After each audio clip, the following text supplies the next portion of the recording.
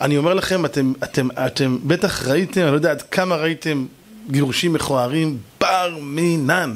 רבותיי, אתה לא מאמין בחיים שלך שהזוג הזה פעם היו תחת חופה, שפעם הם גרו בתורת גג, קורת גג אחת, שתי המפלצות האלה. בוא'נה, זה לא אמיתי. כל אחד מוכן לשלם את כל הכסף שלו רק לקרוע את השני.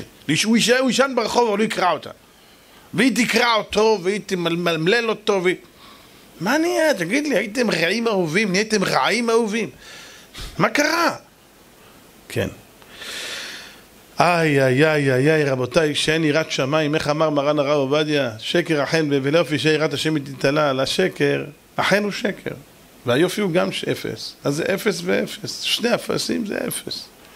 אבל אישה יראת השם תתעלה. אם יש לה יראת שמיים זה כבר אחד.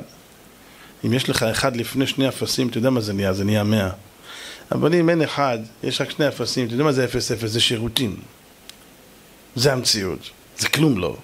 אם אני אצליח להבין שאישה שאני יכול לסמוך עליה בעיניים עצומות, שהיא לא תסטה, שאישה שהיא צנועה לא רק במלבוש שלה, אלא גם בדיבור שלה. היא לא מגחכת עם גברים, היא לא מדברת איתם. כפרה עליך, איך אני אוהבת אותך, אני צרופה עליך. אישה נשואה. זה מטורף מה שנעשה. אתה רוצה קפה נשמה? אני אכין לך קפה. מה זה אישה מכינה לי קפה? אתה רוצה אני אכין לך קפה? אנשים בעבודה. בוא'נה, זו אישה נשואה.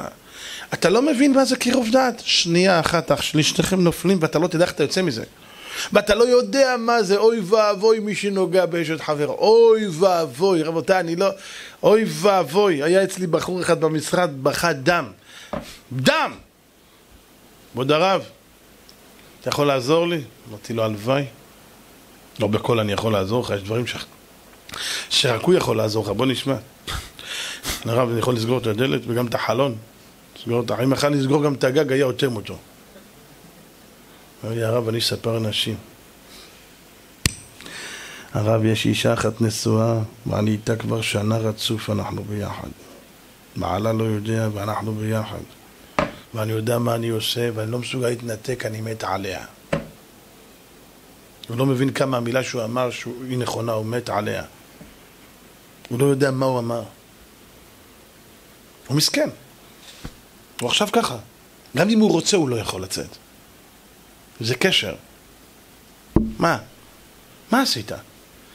בשביל מה אתה מתעסק בדבר הזה? לגעת באישה שאינה שלך לחפוף לראש ולספר אותה? אתה יודע איזה עבירה זאתי? רבנו יונה אומר שנגיעה באישה שאינה שלך. זה נקרא אביזריו דגילוי עריות ונאמר על זה ייהרג ואל יעבור. עבודה זרה, גילוי עריות ושפכות דמים זה גילוי עריות שצריך להיהרג עליו. יגידו לך תספר את האישה הזאת, תחפוף לראש, תגיד אני מת ולא עושה. מה זה, מה זה, מה זה? מה זה נטילת יד, חיבוקים? מתי כל הדברים הללו הם זרים ומוזרים, כל זה הביאו מהגויים. לא היה כאלה דברים, לא היה ולא נברא בעם ישראל כאלה שטויות וכל המתירנות הזאת, תראו לאן הובילה אותנו